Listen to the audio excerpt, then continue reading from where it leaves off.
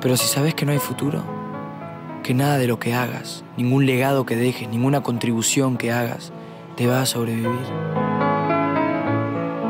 Si sabes que todo se termina, ¿es posible sentirse vivo?